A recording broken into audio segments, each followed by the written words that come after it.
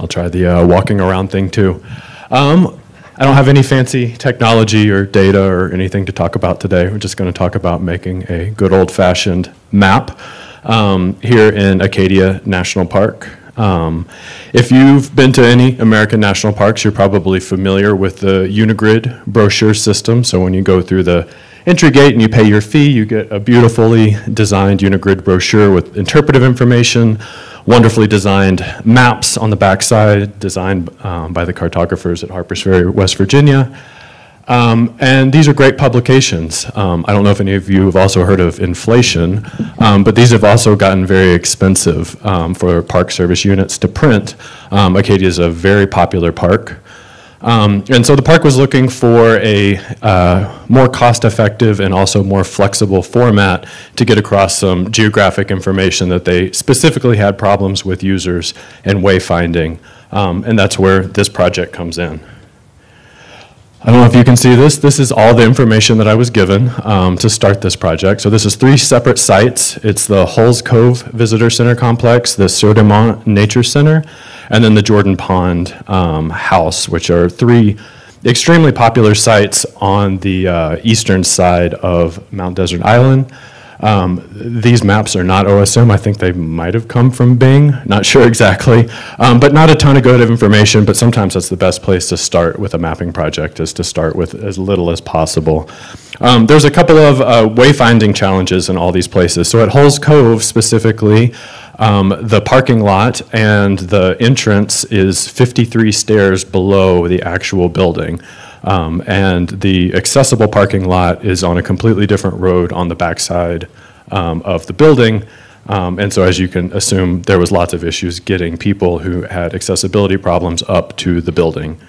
Um, at Sieur de Monts, there's a uh, nature center, but also a series of um, really detailed uh, trails that go into kind of like a botanic garden area um, and so the intent here was to not just show access to those, but show how those connect to the greater trail system in Acadia. One of the other uh, unique parts about Acadia is that they have a carriage road system, um, which is closed to vehicular traffic, but open to um, biking and walking, but it's a different type of trail experience than what you would get on a traditional walking trail. Um, and then Jordan Pond is extremely popular. It's a beautiful, it's a beautiful old house. There's a restaurant there. There's outdoor seating. There's a rooftop deck. Um, there's a wonderful lake. There's a boat launch.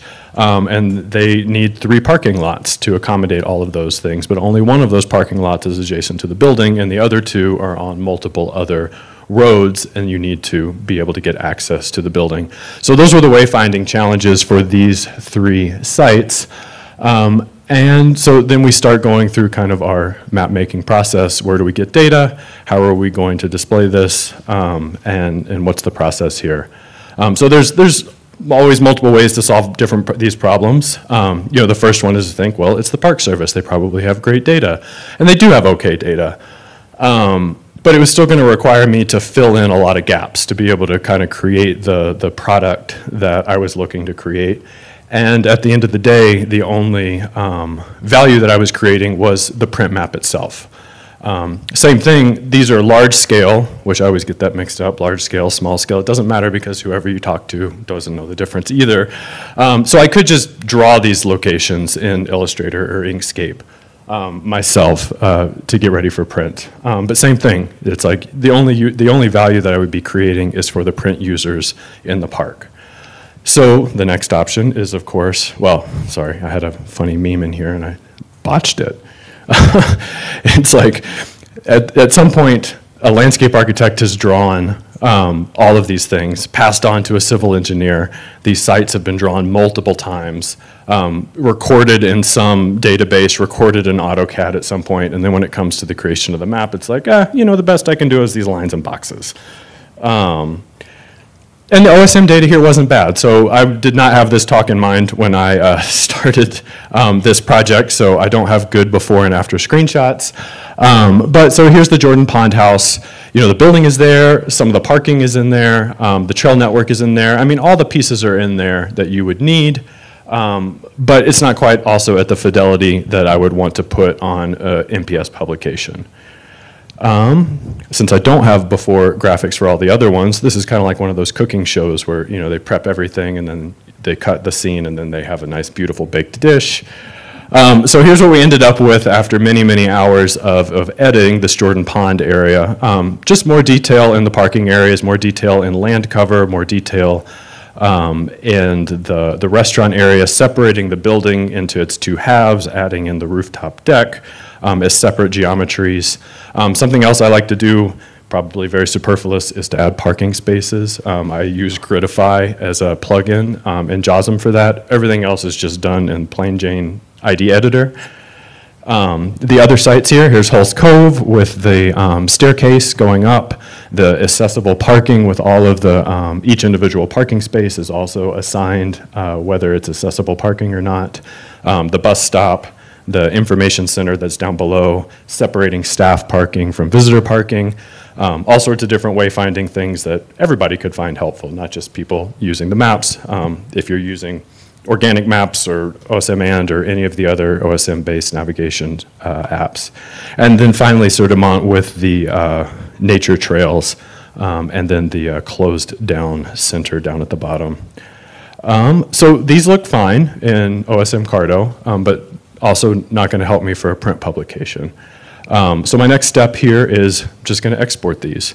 And so just using the regular export function on openstreetmap.org, um, these, once again, large scale, not too big.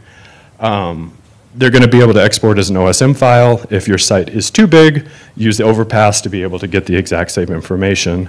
Download the OSM file, and then we're going to just drag and drop into our best friend, QGIS. Um, nothing special here. Ignore my projection issues when I took the screenshots for this uh, presentation. Um, I'll go through kind of the, the process here of just very quickly like cleaning this up and getting it ready to go into Illustrator.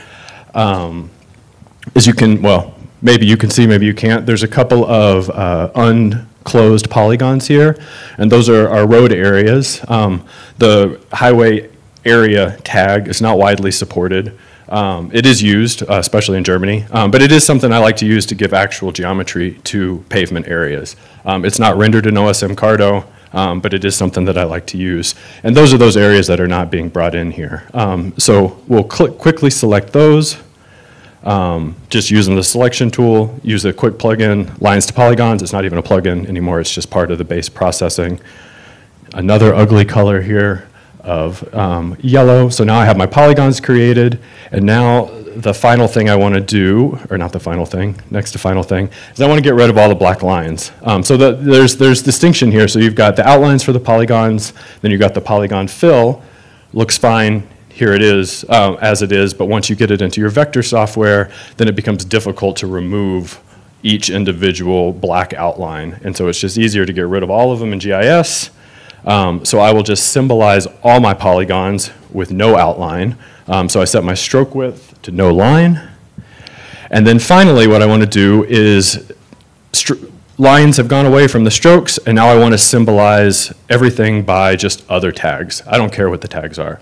Um, all I want is that each piece of geometry um, is separated somehow. So I have this nice psychedelic color palette here where everything is separated and the intent here is that in Illustrator or Inkscape, whatever your preferred vector graphic software is going to be, now I can easily separate these features and apply whatever styling I want to. Um, so we'll put it back in the magic oven. Oh, sorry.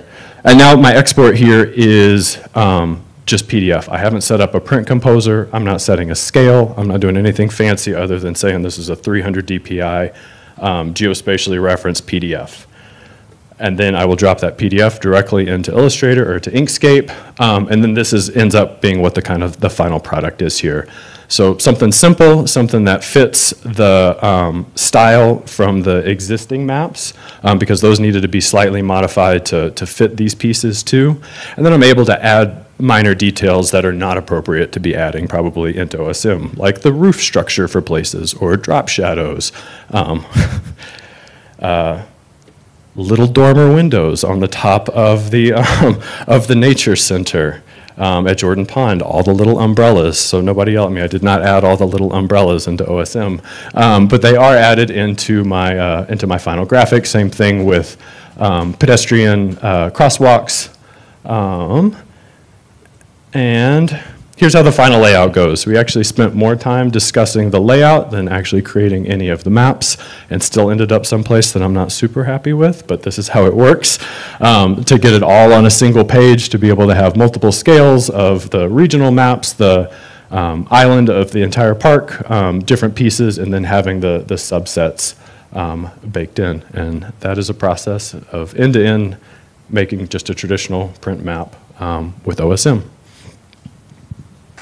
for a question if you. Okay, I guess I finished early. I, I can take a question if anybody has one. Sure.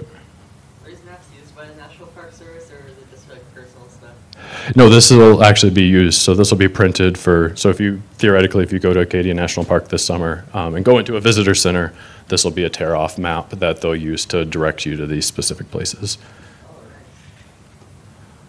Yep. And the larger map, that wasn't OSM? That is not OSM. So that was, I did edit it for this project, um, but I didn't add OSM data to it. So like the data attribution for OSMs in the bottom corner just specifies that the site, the enlarged site maps utilize OSM.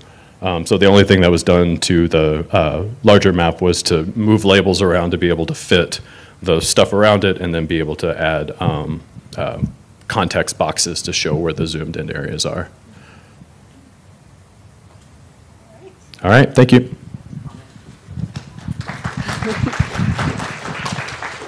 Guthrie, I just say, like, if those umbrellas are on the ground, put them in OSM. We map what's on the, oh, they move. Oh, okay, all right. Valid.